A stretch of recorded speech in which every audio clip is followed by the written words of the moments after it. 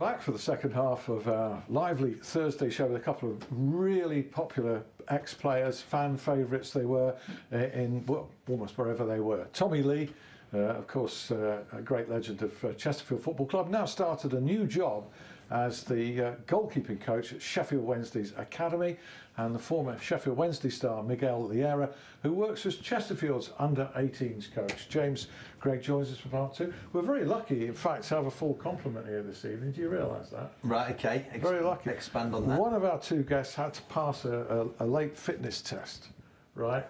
And he had to say that in order to correctly in order to pass the fitness test didn't you you can say i have passed the late fitness test i had a little bit of an incident uh, i bit my tongue uh, right. quite badly uh, so uh, whether that's a good thing or a bad thing that I've managed to make it, I'm here nonetheless. I have seen it. Viewers haven't. It's horrendous. It's, it's graphic. You've, you've yeah. actually bitten off a quarter of it. Mm. How on earth did you manage? This was only yesterday. It was it? yesterday. Yeah, I was just uh, tucking into my dinner and chomped down and yeah. Tongue uh, and chips was it or something? It could have been. Yeah, yeah, oh. yeah. I think I swallowed half of it and uh, yeah, but I managed to get here, Alan. So thank you. So I can't believe you've been a professional goalkeeper and you obviously putting your body on the line, getting your head in, and all that kind of stuff. You've never bitten your tongue before, and then you sit and eating your lunch, and there you go. You got do, do you know what? I, I, never have, but I'm sure Miguel has at some point. Those defenders heading the ball. Yeah. yeah. It happens quite often, but yeah. Uh, you took a hell of nice. a chunk out of that. Not nice. You really did. I was quite concerned. I got this message from him this morning. First thing is the most novel. When I get a, a, message from the guest, a text from a guest on the day of a show, I think, oh, I don't want to read this. And I was thinking, look, this is the most unusual excuse yeah, I have ever read in my life. He's here though. He's, you know, he's articulate. He's yeah. It's great. It's great to see you. I mean, there's many an occasion when uh, I should have bitten my tongue. Yeah. Um, I didn't want to say anything, to be fair, mate. yeah. You've got a very busy roundup a bit later in the show. Yeah, yeah, yeah just a bit. Okay. Um, an ex-player of Mar- uh, just to round off on Martin Allen, we were talking about, and Miguel Llera is a big fan. Mm. Uh, works works with him every day. Um, an ex-player played for him at Barnet, who shall remain nameless, who I happened to uh, bump into this this week was just full of praise for him. And bear in mind, this was a private conversation. I think it carries more weight because if a player doesn't like an ex-manager in a private conversation, you'll you, will you will know about we'll it. We'll tell you, yeah. And he said that he and most of the players who play for Martin think the world of him. There's there's that loyalty there, and never does that come through more, perhaps, Miguel, than in a spell like now when the team has gone 13 without a win. Yeah, I think, I think that he has the the changing in his way. You know, I think that the, from the first day he, he the the thing that he tried to do is to make a, a strong, really strong group. Mm. And he, yeah, he's the person that is dealing with the group, and managing the group. Um, no, eh, he don't let to everybody be close to the player. Is I think that he created. Uh, uh, a scenario like the group and him, they are really close and very strong. Um, and I think it's vital in situation like now. No, he, uh, he has the changing room in his side, even with the result is not the best one. Mm. But I think that things like that are going to make the situation change because the team is performing well and he, uh, he, he's really close. The team is really close to start to winning games. And I think that the, uh, the, time, the, uh, the moment that he get, get, win the first game, more will come. Mm, there's a mutual loyalty there, certainly. Yeah. I, I, saw it in a home game against Maidenhead, which Chesterfield lost, unfortunately, I thought, by 3 1. I thought 2 2 would have been a fairer balance. The goalkeeper, unfortunately, had a, a bad night there, and uh, every goalkeeper does now and again. But he stood there, and there were calls for his head. There were one or two shouting, resign to him, but he just stood with a broad back on the touchline, didn't react to any of it, and, and simply shook every player's hand as they came off the field. I thought that was a big gesture. I really, really did. No, absolutely. I, that, and with you touching it off air now, uh, just before, sorry, uh, Martin Allen needs to be given time. I think the football club's gone through managers uh, a lot recently, and, it, and results haven't changed too much. So you've got to give the the person in charge at the minute, who happens to be Martin Allen, as much time as possible because we, we've mentioned his record. Miguel's touched on the relationship he's got with the players. At some point, that's going to change. Mm, I'd go along with that, certainly, without having had to endure the agony that a lot of uh, supporters have, you know, when you you think you're as low as you're ever going to get, and then it, you go lower still. It's a huge shock to the system, but still 3,000, 4,000 are turning up, which is which is fantastic, isn't it, really? We're talking about goalkeepers in part one, James, and how the Yeah. role of a goalkeeper's changed. You know, I saw Cameron Dawson, who's a friend of yours, I Yeah, know, yeah. down at uh, Sheffield Wednesday's training ground today. And clearly, Jos Luhukay is looking for him, not to replicate what Jordan Pickford does, because Pickford's doing it outstandingly well. But when Cam gets stick occasionally from fans, they don't understand that he's acting to orders in trying to play. I was just about to say that. I think quite often fans, you know, that they'll go, "Oh, he, he never comes out for corners or whatever." Quite often now, you know, you might you'll know more on this than me. Modern goalkeeping, the you know, it depends where you are, I suppose, but being told to stay on the line a bit more. And then other, you know, the time it comes comes and goes, he's not very good with his throw. He don't kick it far enough or whatever. He's got a But hell of a because he's kick throwing it out. Exactly, exactly. And, you know, feet. he's both footed. Yeah. I think that's the thing. He's grown up and it's hard work, isn't it? It's you know, it's putting in those hours of practice and stuff. What what is that thing? Is it right? You know, I, don't, I genuinely don't. I think, I think, in my experience, if you were to get ask a fan from every single football league club uh, about their goalkeeper, you'd get, I'm pretty sure, the same answer. Great shot stopper, doesn't come for crosses. Yeah. So it's it, it, it's what I've heard throughout my career. I never used to come for crosses, although I did, but Yeah. because I used to drop the odd one, I can't c- catch crosses. You had a policy, you know, to stay at home when you could, didn't you? Well, I- or punch it, it. it, it was all my my uh, uh, approach to that was if I feel I can catch the ball, I'll always come and catch it. Uh, and the majority of goalkeepers will have that. Some goalkeepers are better than others at doing that, but I think, especially from a fan's point of view, it'd be interesting to see. But the one thing they would say would be, great shot stopper, doesn't come for crosses, and that isn't true. All So- goalkeepers, if you're a professional, especially in the championship and higher, if you don't leave your line and come for crosses, then you're not going to be at like that a, level. It's a weird Yeah. sort of fans like idiosyncratic kind of approach, isn't it? You know, when they're watching it, they want to see hard tackling, the goalkeeper coming for crosses, and everyone giving 110 percent and all that stuff. They don't used to come for see all crosses more than they do now. I think, I think, the, and that's a lot to do with the way the, the game's changed. The ball swerving, The- the people ball- tell me. Yeah, I mean the the balls are different, uh, and to be honest, not many.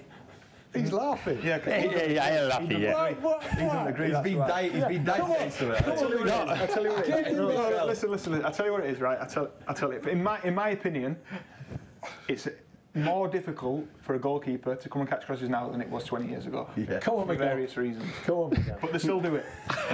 no, I'm laughing because the, the, me for to be central back, the goalkeeper in UK didn't help me too much to do my job.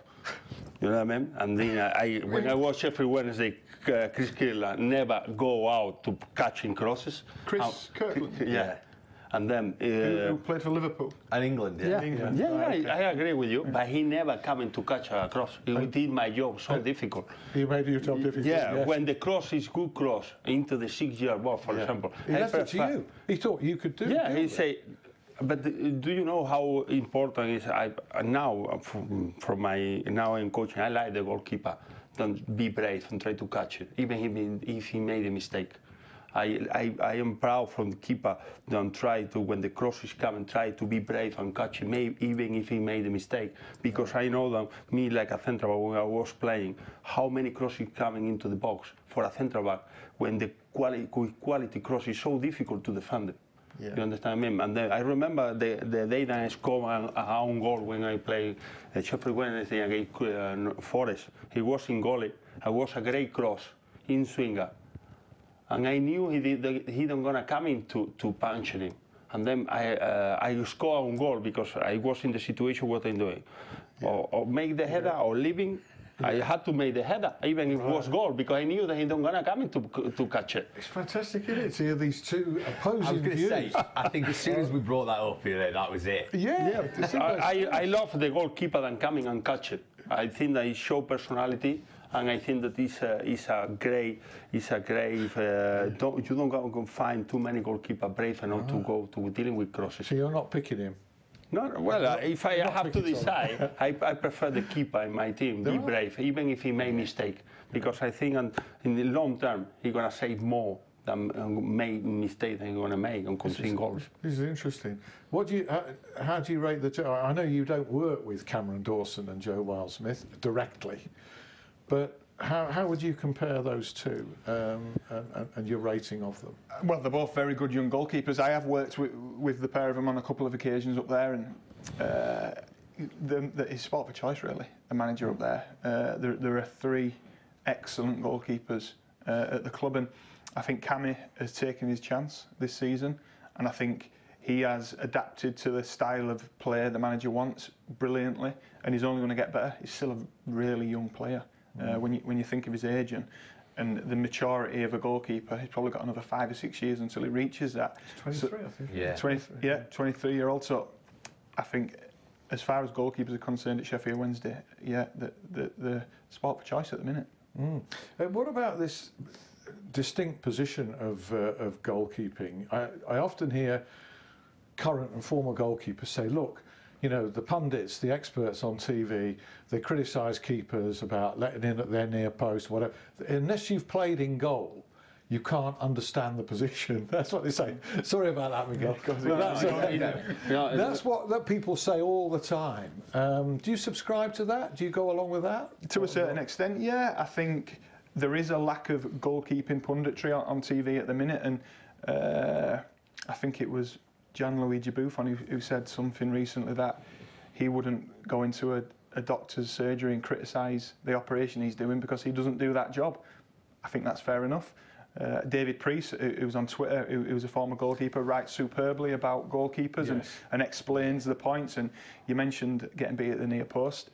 It's a little bit of a bugbear of mine as well, uh, because if a strike is good enough to beat you at the near post, then if you're central, the same strike will still beat you in the same place, but because goalkeepers shouldn't get beat at the near post, it's a mistake. And I think just little things like that. I think uh, I think it's changing, and I think the more goalkeepers we can get on TV explaining these things, I think the less we'll hear of oh, it doesn't come for crosses, or yeah. it doesn't kick yeah. it far enough, or oh dear Miguel. Yeah. No, I think that uh, I think that goalkeeping obviously is the most difficult the position on the pitch. More responsibility you have and it's so difficult. Not everybody uh, can play like a goalkeeper. And then uh, I like the goalkeeper that have show uh, personality into the pitch. I think that is a big role into the team. And, well, um, tell you what, now goalkeepers are starting to play with their feet like outfield players. They can be criticised for that the footwork by anybody. Absolutely. By anybody. Mm. But it, it, also strikes me that, you know, when you, when you watch a game and, and you'll be watching it probably slightly differently now that you're coaching rather than playing, if you're really going to be accurate about the goalkeeper, you've almost got to take your eye off the ball and watch the keeper at all times. His positioning when the ball's at the other end and stuff like that. Because you, you, most of us watch the ball and then the goalkeeper comes into our vision only when he's involved in the game. Yeah, I think. Yeah, it's a good point. Uh, the analysis we do at Wednesday now is fantastic. Each player uh, after every game and after quite a lot of training sessions, they're individually clipped so they can watch uh, how they're performing, but uh, especially for a goalkeeper, probably for 80 minutes of the game, they're not on, in the picture. Uh. So, yeah, you do have to watch for uh, start positions, set positions. When the ball's up the other end of the pitch, are they, are they communicating with the defenders? Are they organising, uh, as Miguel touched on before? So, uh, it, it's it's a totally different sport within football. Mm fascinating stuff. We'll, we'll come back for more. Yeah. Um, but there's plenty else going on, James. There is. Thank goodness that international break's over as well. By the way, because it was just, you know, I mean, it was good. You know, the England against Spain yeah. result was was, was good actually. Terrific, I'm looking yeah. at Miguel actually for that. Yeah. we'll come back on that. Yeah, no, yeah, we'll come back to that definitely. Um, half five kick-off for the Blades away at Dar- um, away at Derby on Saturday. But before that, the Owls kick things off after that international break. Quarter to eight at Hillsborough against Borough. Uh, both sides in the top six and exceeding all expectations so far. I'm sure you'd agree with that one. Both uh, Wednesday and United fans, I think both teams are pleasantly surprised yeah. to see where both of them are yeah, sitting. it's terrific. Long um, way to continue. Exactly, yeah. absolutely. Long way to go though, yeah. Uh, Blades ladies away at Charlton on Sunday. Last time out, of course, they smashed Villa 4-1 at Bramall Lane as well. So good luck to Carla and co on Sunday. Uh, to non-league, well, it was a fruitful non-league day, wasn't it, last week? Um, last Saturday, all the, sort of the local teams were in action. We sort of went through all the teams and all the fixtures, and I think that well, I'm not sure whether we played uh, played a small part in the attendances being high, but there was there was a special mention to attendances. 403 went to watch Hallam, uh, biggest uh, since uh, uh, match in the FA Vase a couple of years ago. 271 went to Staveley, uh, 114 at Kiveton Park. It's a new ground record for them, and 525 people went to watch Worksop Town as well. And Alan, that whet your appetite. You went to watch Hallam on Tuesday night, didn't you? I did. Yeah, I went to watch Hallam in the Sheffield Jubilee uh, Hallamshire. Senior Cup. Yeah, on Tuesday night. Heroic performance from uh, Jubilee Sports, who were a couple of divisions Mm. at least below. Um, almost uh, won it. Mm. Late goal in normal time and two more in extra time for for Hallam. Mentioning those crowds there. Um, Penistone Church, I get stick from Yeah. a couple of well-known supporters of Penistone Church. one of whom, one of whom was a guest last week. Yeah, Yeah, uh, they had a couple of hundred last Saturday brilliant. as well. Um, and the Worksop manager, Craig Denton, is going to be in on this show in Good, November. excellent. Look forward to that. Look forward Yeah. to that.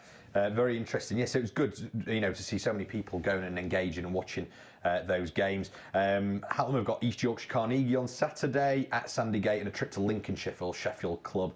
Uh, they've got Spalding United. They drew nil-nil on Tuesday. In 24 hours' time, it's uh, tip-off for the Sheffield Sharks at the English Institute of Sport against Glasgow in the BBL. So rugby union, we've not talked about this for a while, but we'll do now because it's uh, sort of nationally. We're looking towards the autumn internationals. Injuries for England everywhere. We won't go into that, dear me. But uh, national two Northside Sheffield Tigers. They've got Otley 3 p.m. on Saturday.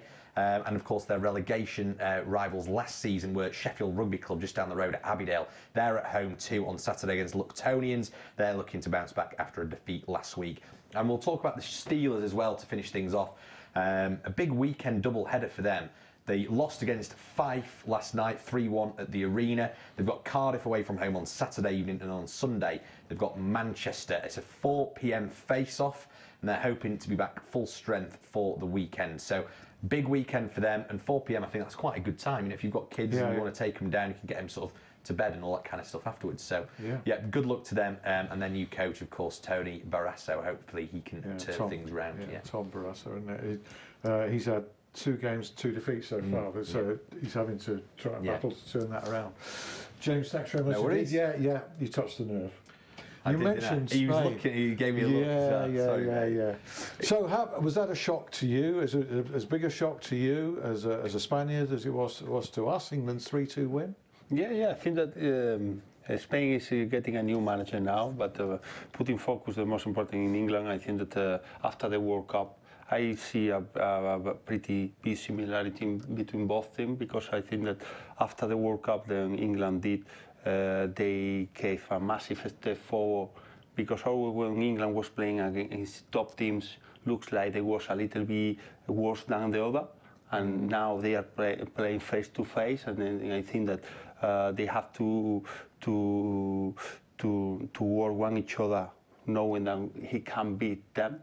I think that it is a Big uh, belief thing, isn't yeah, it? Yeah. Big belief thing. Great Well, football. I, I wanted to ask as well because you know, like the international break. I mean, I found it tedious, and it it didn't help that England had a game behind closed doors as well because it's just like no atmosphere. But the Nations League is that. Do you reckon that that it probably hasn't already? But do you reckon that will make these friendlies a little bit more interesting? Will it make it more exciting for fans? Does Yeah. it mean something? Do you think? I think? that, for, example, in Spain, the attendance was in the, the stadium. England plays my former team, Betis. It was 45, 50,000 people in the stadium. Wow. I think that that competitiveness that they are doing is, is not the same uh, for the fans in a friendly game, see Andorra versus England and Spain versus England. I think Yeah. that it's, it's beneficial because at times the, the player was to attending the games, the international games, uh, thinking more and don't get injured Yeah. than in come back fit than in Yeah. play for the national team. I think this is a big push, uh, uh, even for the fans. So, the most. Yeah. Shall we finish with Sheffield Wednesday uh, in in the in the last four minutes? You've, got- you've got, you've got that in common. They're at home to Middlesbrough this Friday. Miguel, did did you honestly, genuinely expect the team to challenge for promotion this season, or I think that they are doing right. Yeah, they're and, doing- and the most important thing, they are building up a team for the future. Bringing in um, very young player in, and they are giving a, a great, a great uh, performance for, for the club. No, I think that is something that the club didn't do it with Carlos under Carlos uh, Carvalhal management because I think that they was investing a lot of money. They was they need result, and they wasn't they didn't know the academy and they didn't put any focus in the academy. Uh, obviously, like he say, he wasn't brave enough to, to, to do it. You and this uh, the manager is uh, now is is fully uh, believing at the academy.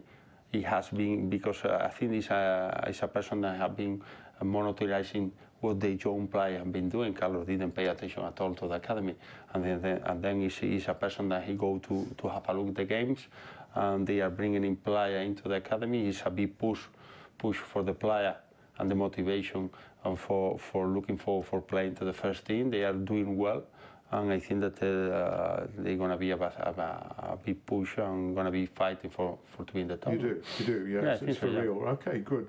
Uh, Jordan Thorniley is a player who plays, well, he can play in several positions actually. Um, well, you could, you could as well. He scored a fair number of goals, but he, he has been particularly impressive since coming in, Jordan Thorniley. What, what, what's your view of, of, of him? Yeah, he's doing, he's doing really well. No, I think that he has the confidence of the manager. Like I say, when one, one young player coming into the first team, fully confident because he's doing well. Uh, it's a lot of work from the people that is have been uh, around him uh, because it's not easy to play in Hillsborough with atmosphere, play, atmosphere, playing championship. Yeah. Um, it's, a, it's a big uh, step big forward thing. for him, and um, it's a lot of people around him doing a great job. Um, that's why the, the, the, the, young people is performing well for the first team. Yeah, and Matt Penney as well. You know, I've started contract talks with him. It's important to keep these these younger players as well. Won't get you involved in the politics of that, but you know, a couple have uh, escaped. Uh, I'm pretty sure that they'll want to nail down, you know, prospects like him. Um, how many more? I, have never known a season. You know, I've been covering uh, the two Sheffield clubs for a long time, but I've never seen 11 or 12 introduced to a first team squad within a year. Well, it's actually less than a year since this manager took charge. That is astonishing. Have you ever seen that anywhere in either of your careers? So many at one no, time? No, no, no. Um, more recently in, in England, I no. didn't see nothing like that in my time for Sheffield Wednesday. Yeah. Uh, we didn't bring in any young player into into the first team in my four, four, three or four year playing there. Not too many young players. Liam Palmer yes. was into who, the first team. Who doesn't get the credit he deserves, actually. Uh, in, in, my view, is a, is a steady operator on that right hand side. And like so many there, he is adaptable, mm. isn't he? It, I think it, that, that's got to be the way now. Uh, you spend all these monies on, money on academies to get players to play the way the manager wants the football club to play you bring them th- through, you spend a lot of money on these players, and then they get to the under 23s and the, the manager didn't want to play them. I think it, it, makes a mockery of the academy system if you're not using that resource. And uh, I'm just glad that I'm at a football club now where the manager is using that resource and he's getting rewards for it. And you've got to give credit to, to Thorniley and, and Penney and Preston, and, and there's players knocking on the door. And there are some very, very good young players who aren't far off uh, getting in that first team squad. That's great to hear, and thank you so much for the last. Uh, your tongue has uh, survived. It, it's passed that fitness test. Yeah, yeah, yeah, the, yeah, drugs are wearing off. Yeah, got yeah. just about. Yeah. Well, it's been great seeing you both again, and, uh, and, and thanks very much, Miguel. And thank you, Tommy. Thank you, James, as well. Pleasure, thank you to you always. for being out there watching. Uh, if you've just come in and you missed any of this, it's repeated on Sheffield Live at 11 pm, and it's also this evening on my YouTube channel. Um, I hope you can join us for another show next week. See you then. Bye.